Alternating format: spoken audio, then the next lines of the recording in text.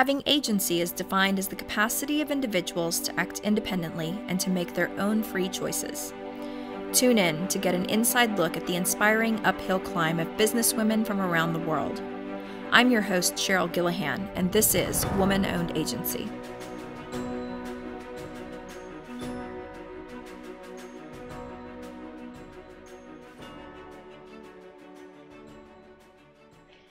Today, I've got a very special guest with me. We have a special episode of Woman Owned Agency. Um, in advance of WordCamp US, I am interviewing Michelle Schulp of Marktime Media. Michelle, happy to have you here today. And I am excited to learn a little bit more about your company. You have been running Marktime for over a decade. Yep. And tech has changed a lot in that time. So, introduce a little bit more about yourself and how you got into this journey of being a founder, being an entrepreneur? Sure. Uh, so yeah, so like you said, I I run Marktime Media, which is actually a, a one person agency. Uh, currently in Minneapolis. Uh, it started in the Chicago area. Um, moved up here kind of 20, 2013. Um, and and my business has also gone through a lot of versions of itself uh, over the years as technology has changed. Uh, I think if you would have talked to me in my very early days and said that I was going to be a front end developer, I would have kind of laughed at you because that was one of the last things I wanted to be doing at that time. Um, but you know through actually really through finding the wordpress community uh, i really started embracing uh, development as a thing that i liked doing and it's become like a really great way of expressing the type of problems i like to solve well, I didn't know until I started running an agency that there's so much art and creativity in code and in development. And so that was certainly something that I learned. Um, it sounds like you kind of started more on the creative side of things, didn't you? Yeah, um, I studied design uh, in school and I thought when I when I did that, I thought I wanted to be a packaging designer. Packaging design is really big in Chicago. Um, my mom worked for Kraft Foods, so I grew up around it um, I thought that's what I wanted to do, and digital design was just not the thing I liked. You know, I it was like, oh, it's that's not really my thing. Um, but when my my first job kind of before I became an entrepreneur uh, was working for a digital agency and in getting to know their developers, their animators, you know, all the people that worked there, I really fell in love um, with the strategic and practical side of design. And that really led me into um, user experience and front end development as something that I'm passionate about. And there has been such an evolution in user experience over the last decade, decade and a half. Um, you know, I'm I'm learning something new every single day, and I feel like you know, yeah, we've gotten really good at it, but there's still so much to do. And we just don't know it all and it's hard to do it all um, so what would you say is like your sweet spot in your area of expertise when people come to you what is the the magic that you can really bring oh it's kind of interesting um i i like to work on i would say like the left brain side of design and the right brain side of code. So i mean it's kind of like interesting because what i what i like about design is is more of the again the problem solving aspect. How do we help people do the thing that they want to do? That's why i love user experience so much. It's really about how do we how do we get out of people's way and let them do the thing that they came there to do? And then on the development side i really like solving visual problems. Uh, so where should things go? How do we output them? How do we build the thing that does it effectively? And then how do we style it so it's attractive and so it gives people a good user experience while still following a lot of best practices for like speed and seo and accessibility and all of these other things? So i'd say that's probably my sweet spot is like right in that overlap of where um, design and development meet. Are you doing a lot of custom websites then yeah, primarily um, I do custom theme development for WordPress. I've done some uh, you know, more like agnostic framework driven web development before. Uh, but most of my web development is WordPress, which is why the community's been so great uh, to be a part of. And it's such a large community. I mean, I remember when I discovered the community, and I don't even remember how long ago it was now. Um, but it just fell in love with it. It's so easy to get um, collaboration and answers and um, people who really genuinely want to help each other out. Um, do you partner with other agencies within the community? Uh, I do often actually, um, because I am a kind of a solo entrepreneur and always want to be a solo entrepreneur um, I I find that it's great for me and great for other people um, when I partner with others. Uh, partnering, say, with a design firm means that uh, you know I, as a developer, get challenged because if I'm, I'll be honest, if I'm designing my own stuff that I'm going to build, I'm probably going to design stuff that I know is easy for me to build. Right? I'm just going to have a bias. But if another designer, if I'm partnering with another designer, and they're like, "Hey, what if we do this?" I'm kind of like Oh yeah, that's a lot harder, but actually is way better. Um, I guess we should do that. That's a good idea. Um, and on the other side, if I'm designing and I'm partnering with developers, uh, I really enjoy doing that because I can talk to them, you know, in the same language that they use because I do it too.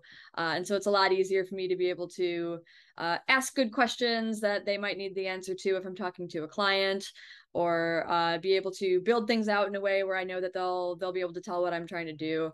Uh, so anyway, yes, the the the short answer to the question is yeah, I, I love partnering with with other people in the space.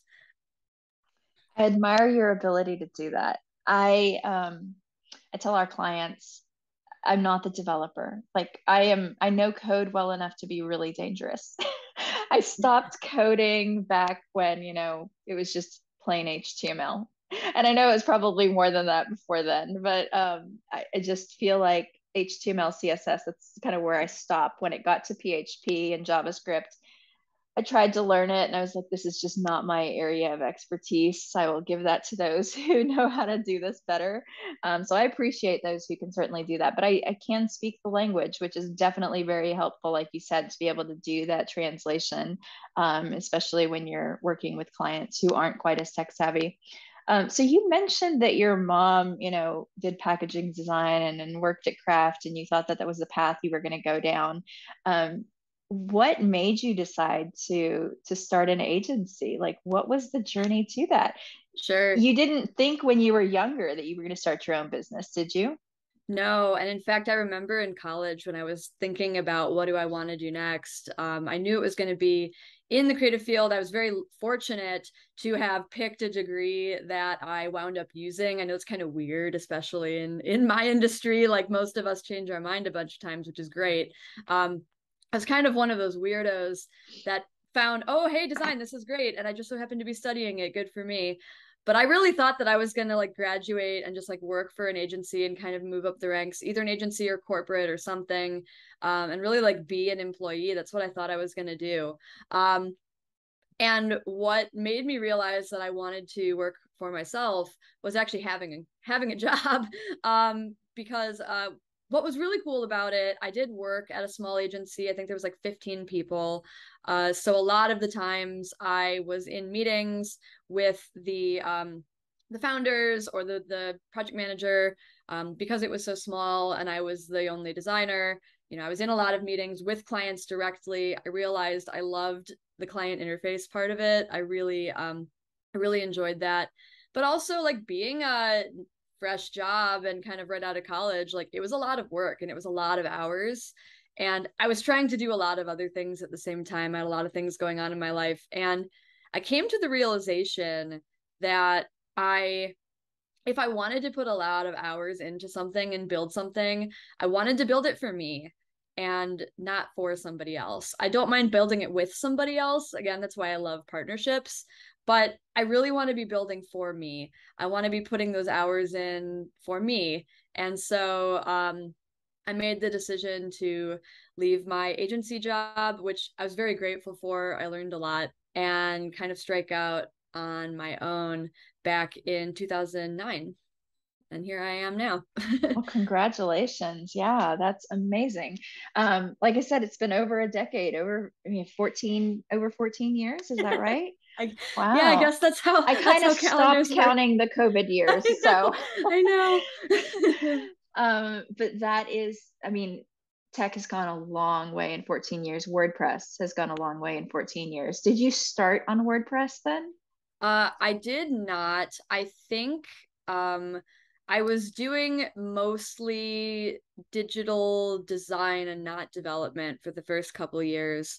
I think I started picking at my first WordPress theme in oh probably like 2010 very poorly. It was terrible. I was like hacking at a theme. I mean i think we've all had this this origin story in some way or another. I'm like i don't know like i just want and it didn't make any sense and it was very confusing and i didn't know php and i had a, a basic understanding of html and css and it was i i had no idea what i was doing. Um but what was really cool is in 2011 this was when i was still living in the chicago area I was, you know, Googling design conferences in the area and WordCamp Chicago 2011 came up and it was like $40 weekend conference, you know, come do this. And I was like, oh my goodness. Cause I, I had attended um the CMS Expo, I think either earlier that year or the previous year. And so I'd gotten exposed to like Drupal, Joomla.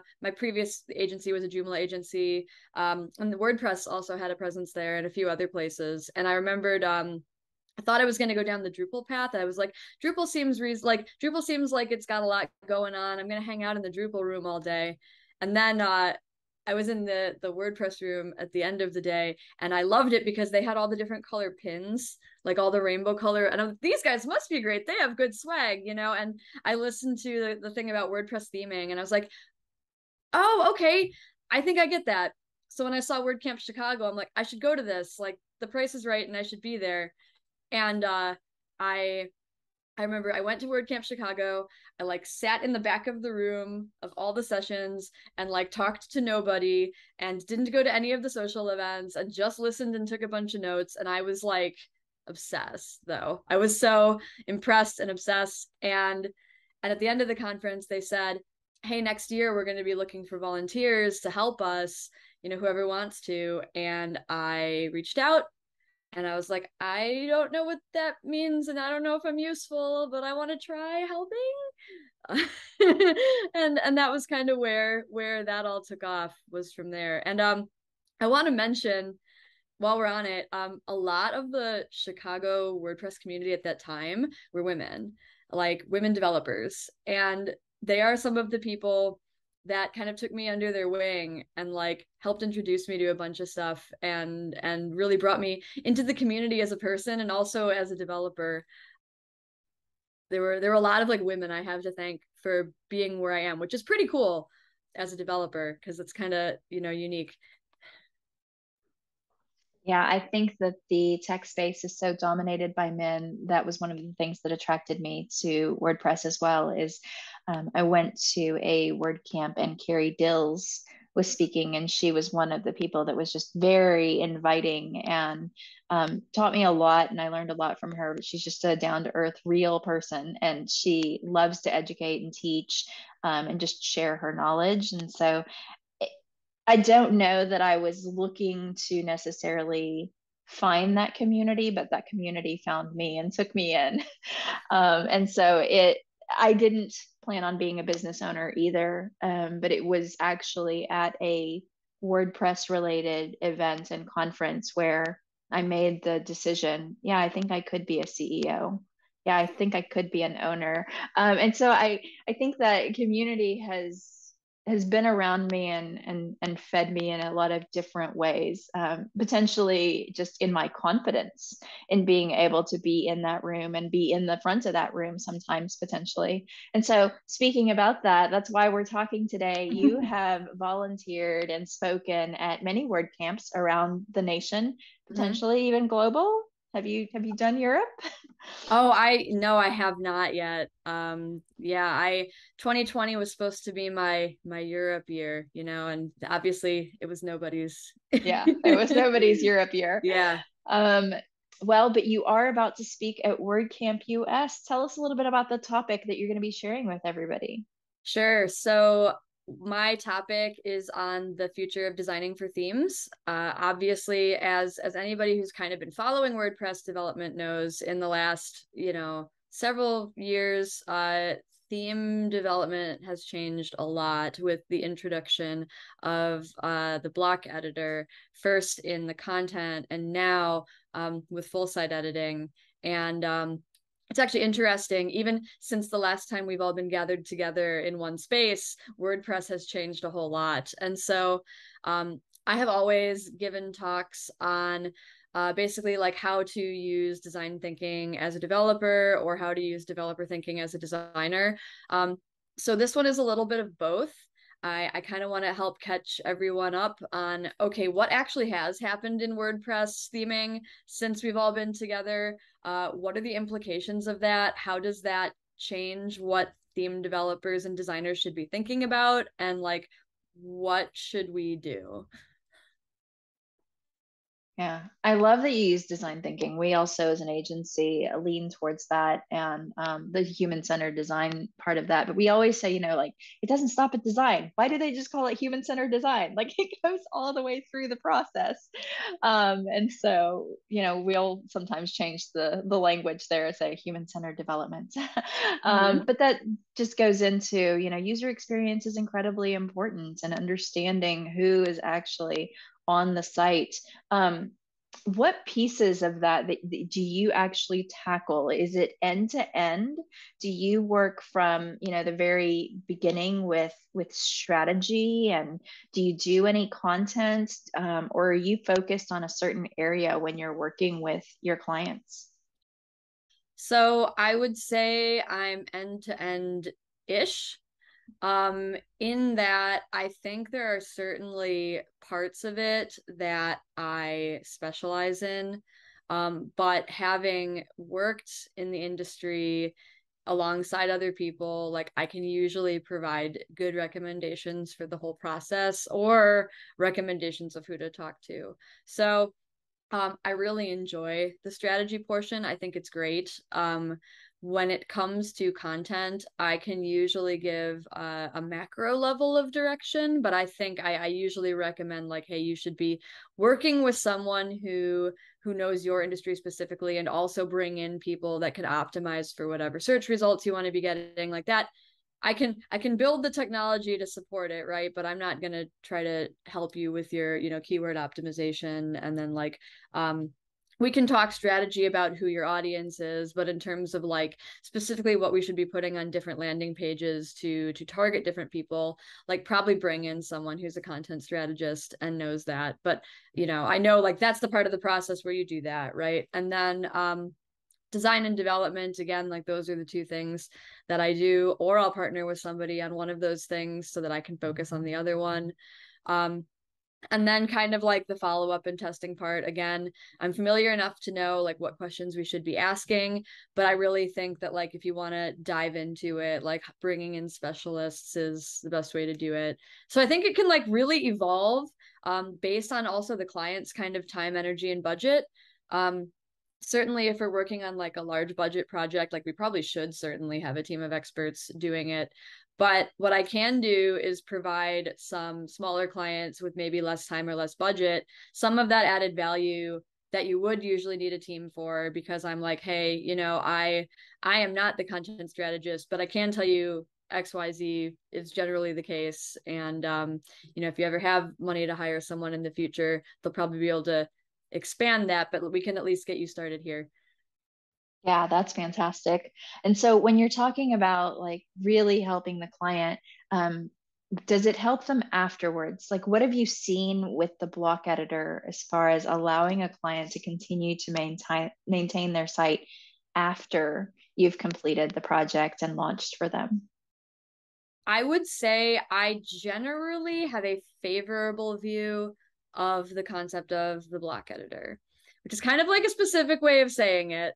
Um, I think that it what it's trying to do is super cool and the clients that are a little more tech savvy are very happy with it because they've been frustrated with the limitations of how things were before. And, you know, if they can kind of follow me through some of the learning curve of getting used to it, um, they are they're pretty excited about oh my gosh like I can just make these landing pages here. I can do this thing. I can add this stuff and like I don't have to ask you. I love that.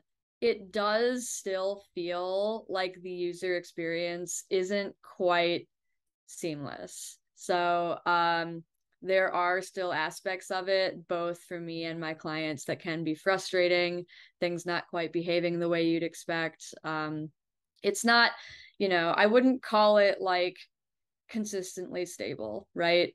It really depends on the client. Um, I still build everything in the block editor, but maybe for clients that uh, need a little more hand holding, like we will probably lock more things down. I'll probably kind of walk alongside them in more of a consulting relationship to help them build stuff. But but for the ones that kind of love to tinker, they think it's great.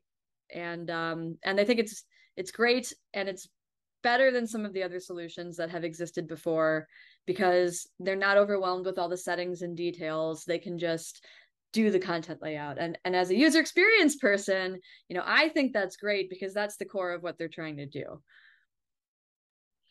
Yeah, I have to remember that as well when I when I look at and when I evaluate something like the block editor editor primarily because I feel like it's got so far to go already. And and coming from the world of building custom and having no limitations and being able to build everything um, i feel like it's not enough. However like you said when you look at it from a client's perspective it's so much further than what they were able to ever do before.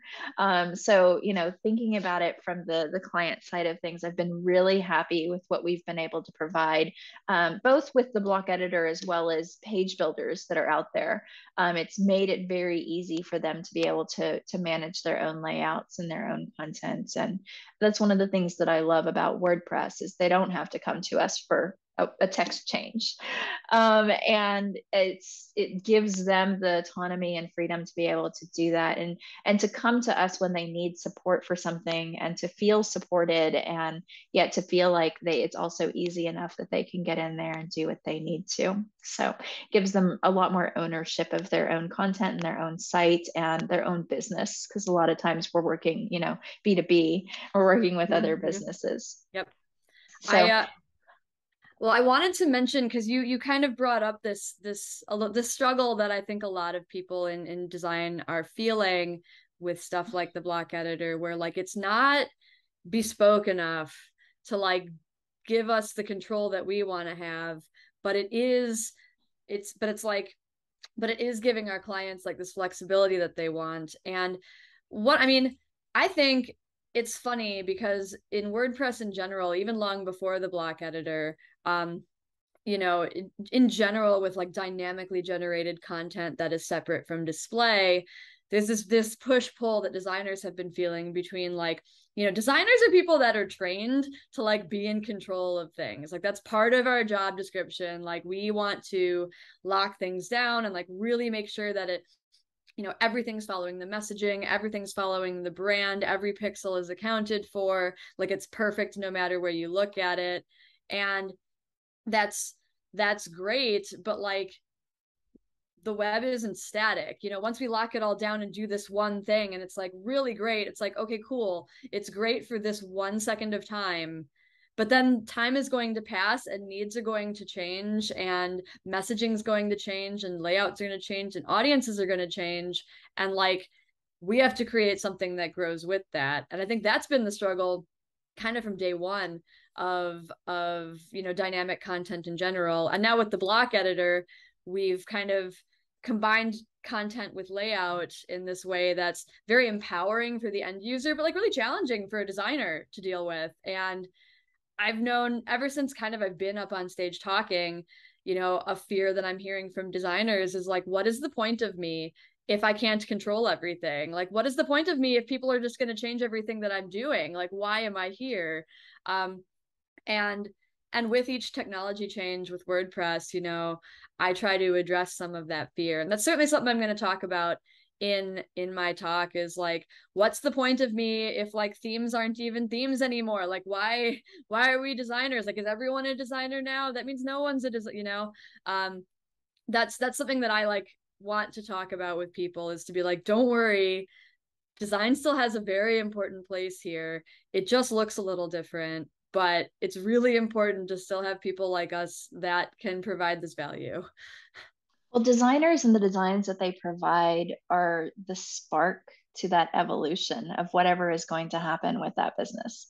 You know, and we're not always going to be there with them, you know, in step with how they evolve and how their programs change or what their messaging needs to be um, I mean, I, I, suppose we want to be there with them every step of the way, but as an agency, you're going to have multiple clients, right? And and that that business needs to be able to evolve regardless of whether you're there holding their hand or not. And I think good design allows for that, allows for that growth, and allows that business to go where it needs to go. Um, so I think that's that's a really good way to put it. I mean, designers are still very important, but clients sometimes don't know where to start. Um, and I think that's where theme shops were really popular for a long time, and they probably still are. It's because people just love, they can browse for hours and hours and hours. And I think it's just, you know, analysis paralysis at some point, because then they can't make a decision on which theme to choose, um, which is where designers help guide that, like what's best for your brand and your messaging and your audience. Um, but people do love that. They love to take a look and see what's possible because they need somewhere to start. Um, there are people who just look at a blank page and they don't know what to put down on that page. But a designer has that capacity and creativity to be able to um, feed something beautiful into that. And then from there, people can nurture it and help it grow. Mm-hmm. Yep. All right. Well, I would love to know are there any other women owned agencies that you would love to do a shout out for today?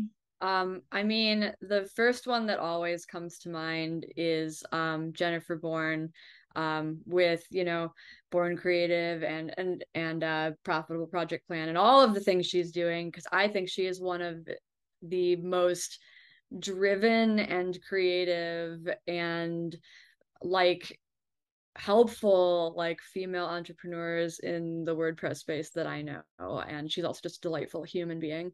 So I major shout out to her.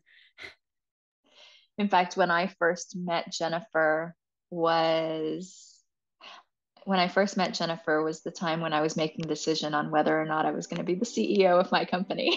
Good person to meet for that, right? Exactly. yeah. Exactly yes and like i said you know the wordpress community has definitely like been an outpouring of support and knowledge and just um, even being able to experience share like what they experience within their agencies uh, good and bad. So i mean i've gotten to hear the good things and the positive things and the ways in which um, i can potentially grow my business and, and evolve my business and um, and then the the hard things as well. In fact, Jennifer and I just recently had a conversation on her podcast, um, which I think her new podcast is called Seeking Satisfaction. Yep. Um, and it's in everything about business and life and, and anything you want to discuss. But we had such a great conversation.